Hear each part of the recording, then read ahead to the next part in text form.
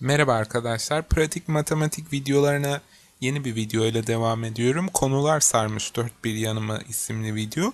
Bu videoda sorular tasarlanırken aslında arka planda belli bilgilerin ölçüldüğünü, bunların değişik konulara dağıtıldığını, asıl esas olan konular değil bu bilgileri e, bilgilere sahip olup olmama olduğunu anlatan bir video yapmaya çalıştım.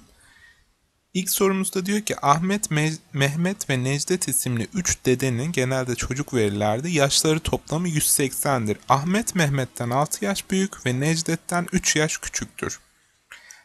Her insan bir kutudur isimli. O videoyu daha kanala yüklemedim ama her insan bir kutudur diye bir video var yaş problemleriyle ilgili.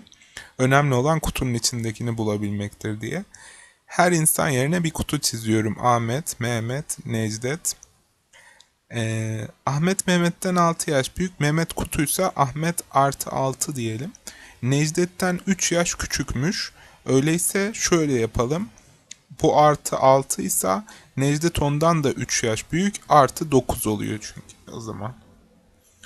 Ve 3 tane kutumuz var. 6 var 9 var. Yine denklem kurmadan x vermeden çözeceğim. Biz kutunun içindekini bulacağız. Şimdi hesaba alalım. Toplamda ne var? 3 kutumuz var. 3 tane kutu. Bir de 15 var. Ve bu 180'e eşit oluyor yaşları toplamına.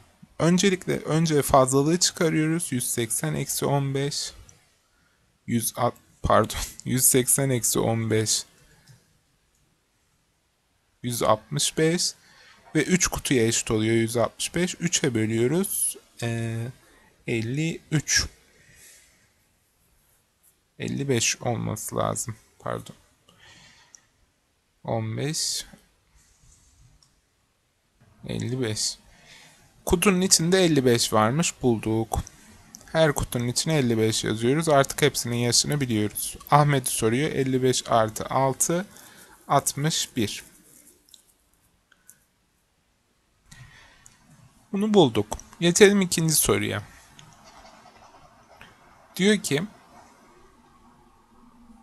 ABC üçgeninde A açısı B açısından 6 derece büyük çizdik ABC'yi. A B'den 6 derece büyük C'den 3 derece küçükmüş. B'yi yazdık. A ondan 6 fazla B artı 6 diyelim. Burası B.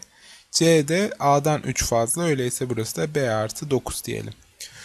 Yani B, B artı 6 ve B artı 9'un toplamı 180'miş. 3 tane B artı 15 derece 180'i veriyormuş. 15'i çıkarıyoruz 165. 3'e bölüyoruz 55. Öyleyse B 55'miş. Bu 61 bu da 64. Şimdi dikkat ettiniz mi? Aslında yaş problemi ve üçgenler geometri sorusu tamamen farklı sorular. Tabii ben burada yani basitini koydum. Yani her zaman böyle basitte çıkmaz. Yine arka planda aynı bilgi test edilir ama zor gibi gözükür.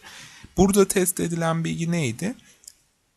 Üç tane farklı şeyi birbirine bağlantılı olarak yazabilme. Biz burada ilk önce kutularla yazdık sonra açılarla. Birbirine bağlantılı olarak yazabilme ve toplama bakarak bunu hesaplayabilme. Bunu getirip yaş problemine de koyar, geometriye de koyar. Mesela burada geometride tabii ben burada basit bir şey söyledim de yani şöyle bir altıgen de olabilirdi yani. Yine altıgenin iç açıları toplamına bakacaktık. Oradan yine aynı şekilde çıkartacaktık. Yani 180 yerine 720 derece olacaktı iç açıları toplamı. 720'yi kullanarak yapacaktık. Bu videoda bu noktaya değinmek istedim. Önemli bir nokta. Belli bilgiler ölçülüyor sınavda. Bu bilgileri değişik konuların içine arka plana sokuyorlar. Yani bölme bölünebilmede de aynı şey var. Karşıma çıkarsa onun da videosunu yapayım.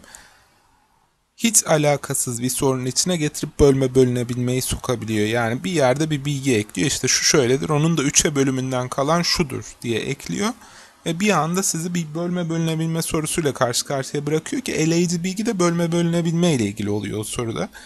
O da garip bir durum. Bu videonun da küçük bir zihin açıcı etkisi olacağına inanıyorum. Umarım faydalı olmuştur.